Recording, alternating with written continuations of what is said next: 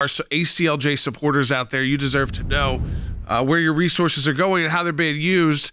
And this is a great victory against Planned Parenthood in federal court in the Eighth Circuit Court of Appeals out of South Dakota, where your ACLJ attorneys, including me, we were deputized by this uh, the governor there, the Attorney General's office, to represent the state.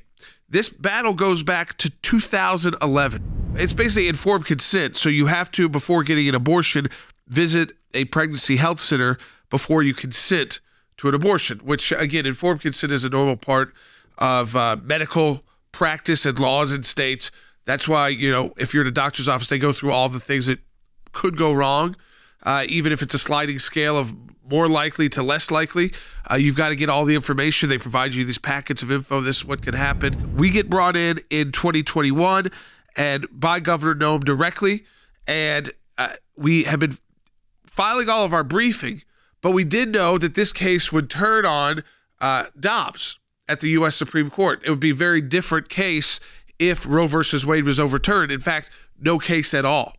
And this is that first time I've seen in federal court uh, since Dobbs, where because of the overturning of Roe versus Wade, we are winning cases without having to go to oral arguments. We just beat Planned Parenthood. This is why taking abortion from the highest level of scrutiny under federal court, any kind, you know, the abortion distortion, as we call it, back to a state issue or legislative issue, uh, even if some of the federal laws uh, moving forward, we're able to get victories. That, that is a great victory. And we've seen, obviously, you thanked our supporters, and we do thank our supporters because we are in a battle against Planned Parenthood constantly, and they are very, very, very well funded. And this was a case that, like you've said, went on over a decade, and we were brought in uh, and appointed as special assistant attorney generals, and were able to do the briefing and filings. And then the Eighth Circuit got it right that said, you know, Dobbs has come down, and therefore this third party counseling requirement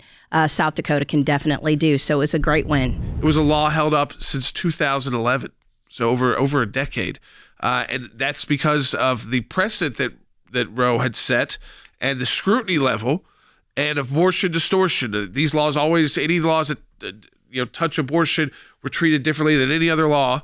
Uh, now that's not the case, and it's a good example of how you're seeing victories coming out of the Dobbs decision uh, the media doesn't want to focus in on that, of course. The left doesn't want to focus in on that, but we're fighting those battles uh, at the ACLJ. Let me thank Governor Noem for bringing the ACLJ uh, attorneys in uh, to uh, defend the state law and informed consent there when it comes to abortion. And we won that case, beating Planned Parenthood in the Eighth Circuit Court of Appeals.